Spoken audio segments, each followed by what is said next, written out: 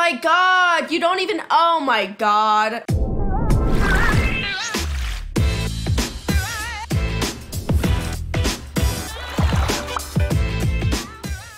Hello, everyone. Welcome back to more garbage content. I really, I have no other way of explaining myself other than lazy. You guys have wanted me to do this for a while, and that is reacting to people versus horses. But today, I wanted to do something that I feel like probably all equestrians want to do from time to time, and that is fuck you. If you are not an equestrian and you don't take the proper steps to learn how to ride horses correctly, you make the entire sport look bad. And not only that, but you also are the reason why horses die, why horses are considered dangerous. So please, for the love of fucking God, bitch, if you don't know anything about horses, take the proper necessary steps to learning how to ride okay? One more thing before we get into this. This is my Supers hoodie. Oh my god, this is one of my all-time favorites. As you guys know, those links will all be down below, as well as we have so many others that are out and available right now. If you want to follow the Instagram page, it is Shop Raleigh and Link, as well as my Instagram, my horse's Instagram,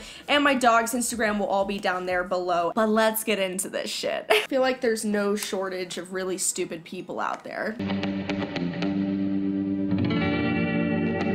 Okay. 16 seconds in. We managed to get 16 motherfucking seconds in before I have to say something. First of all, these are actually equestrians. Although, can we really, like, can we really call barrel racers equestrians? I'm just kidding. To all you barrel racers out there, I'm kidding! It's a joke, you fucking cunt!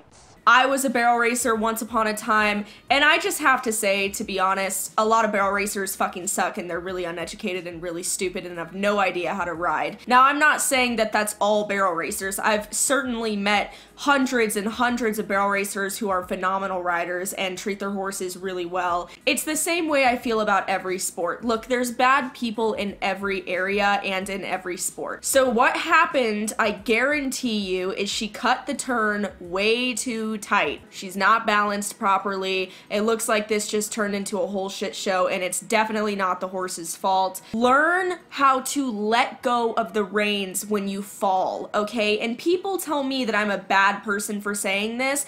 Honestly, you need to practice letting go of the reins when you fall because it's inevitable. You ride horses. Now, there's going to be a few times where you hold the reins and that's totally fine. It's just a reaction, it's an instinct. But there's going to be dozens and dozens of times where you fall off a horse. And when you do, one of the things that you should prep your mind for is to mentally be prepared to let go of the reins. It is so, so dangerous to hold on to the reins. I can't even tell you, you can be drugged, you can get caught up in the reins, you're gonna rip your horse's face off, your horse can step on you.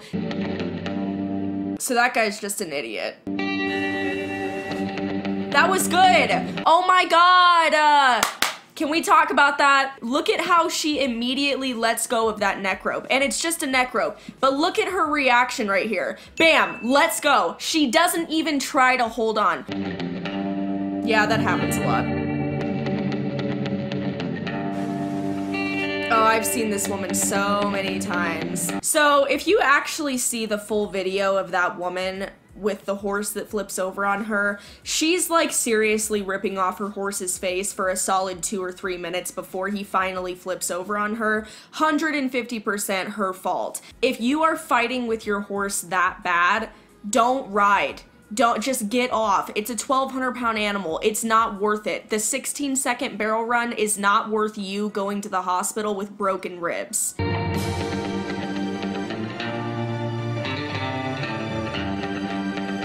Let go. Oh, oh God, you deserve that. Get get out. What is the kid trying to do? There's only so much that you can educate children who are learning how to be around horses and interact with horses. I personally am of the mindset that You do the best you can, but most of the time kids have to learn the hard way. Just a good example, when I was a little kid, people always told me to feed a horse with my hand straight open, and I did not want to because I thought the horse was gonna bite me or something. So I would always feed the horse like this, and people always told me, they're like, Raleigh, one day your dumbass is gonna get bit, and sure enough, I went to feed a horse and he bit off my entire thumbnail, and I was standing there holding my hand, and there was blood gushing down, and I was like, oh my god! Good for the horse. Come on. Oh my god. like, I don't understand why people do this if they know they're just gonna be bucked off. Is that your goal in life, is to be bucked off a horse? Yan. Galaon. Oh god. po, tatlo, oy. Hop. Oh my god.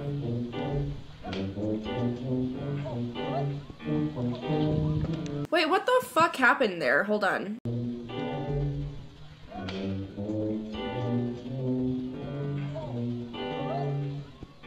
Oh no, that riding instructor fucked up big time. So right here he's saying up and he's pushing the horse faster with his left hand. The horse turns and is kicking at the instructor. Also, this guy is seriously off balance. I don't know why the instructor would be trying to get the horse to go any faster because whoever is on this horse can barely ride, can barely manage to even stay on. Bye. This is too much work. Whoa. Like, why? Why? Uh, nothing against people who are overweight, but if you want to ride something, ride a wheelchair. You have no idea how fucking damaging it is to do that to a horse. You can destroy so much in a horse's back by sitting on them and having way too much extra weight. It's the most irresponsible, uneducated, and cruel thing to do to a fucking horse. When I was in high school, I had to wear a pregnancy belly for like four hours and I barely made it through. And that was what, like an extra 15 pounds of weight on me? I can't even imagine if someone who weighed fucking 500 pounds sat on my back. Fuck you and the horse you rode in on. Oh my god, bitch. And you got a tiny horse. Are you fucking kidding me? Oh my god, you don't even. Oh my god. What were you trying to get out of that? Were you just trying to humiliate yourself? Bigger people can ride horses. Let's talk about this. You can ride a horse as long as the horse is big enough to carry you. And it has nothing to do with being fat, it has to do with surpassing the horse's weight percentage capability. You should not, including your tack, weigh more than 20% of the horse's body weight. This is all about responsibility, people, and as equestrians, it's our job to make sure that people who are uneducated, who don't know anything about horses, we educate them the best of our ability so that way they have a positive experience, the horse has a positive experience, and no one gets hurt. Because guess what? When you do stupid shit like this, the horse gets hurt, the person gets hurt, and the horse is the one that pays. Um, excuse me? What in the white trash is going on here? What the fuck are they doing? It's a tug of war between horses and 50 people. Who cares? 90% of the shit that I see that I react to, my initial reaction is, what were you thinking? Why would you even try to do that? What are you going to get out of that? You know, what do you expect? Why would you even care to try that? Who cares who wins? If this is what you find entertaining, you have issues. Oh god. Okay guys, well, that is it for this video. Um Hopefully that was entertaining because honestly, it's not funny. I don't find any of this stuff to be funny. I look at a lot of it and I'm like, wow, so that situation could have ended really poorly and you could have gotten seriously injured or the horse could have gotten seriously injured. I don't know why people choose to do that, whether it's for views or attention. Who knows? But that's just my personal feelings on it. Thank you guys so much for watching. Like I said, all those links will be down below. Once again, if you would like to pick up this Supers collection. I will link that down below as well. But otherwise, thank you guys so much. I will see you guys in my next video. Love you guys. Goodbye.